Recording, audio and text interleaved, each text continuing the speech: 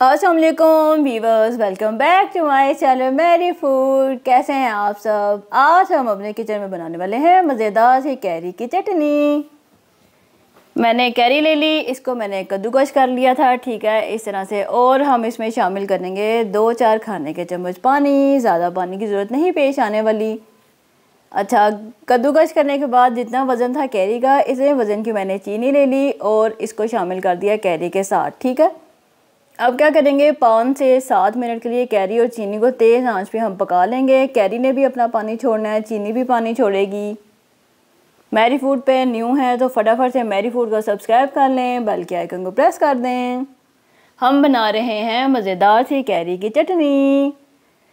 अच्छा जी ये देखें, पाँच से सात मिनट हो चुके हैं, कैरी काफ़ी हद तक पक चुकी है, अब इसमें थोड़े से मसाले शामिल करेंगे, ठीक है? इसमें चला गया थोड़ा सा नमक, साथ में हम डालेंगे कुटी लाल मिर्च, मज़ेदार सी चटनी बनेगी ये।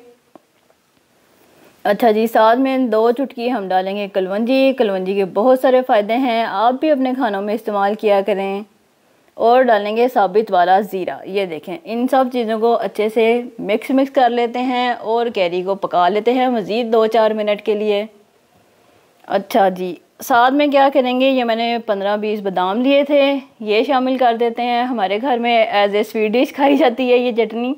तो मैं इसमें ड्राई फ्रूट भी डालती हूँ। ये चार मगज़ हैं। टू टेबल स्पून ये शामिल कर दिए। साथ में हम क्या डालेंगे इसमें? ब्लैक वाली किशमिश। ठीक है?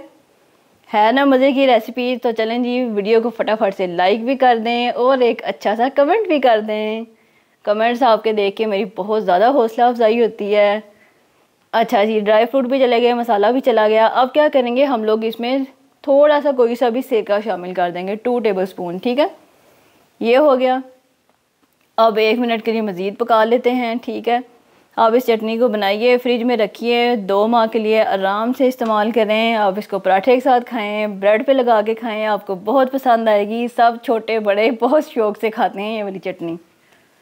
ये देखें, झटपट से हमारी मज़ेदार सी कैरी की चटनी हो गई है तैयार। आपने भी इसको फ्रेंड एंड फैमिली में ज़रूर शेयर करना है, उन्हें बताइए क्या कि हमने मेरी फ़ूड से ये वीडियो सीखी है।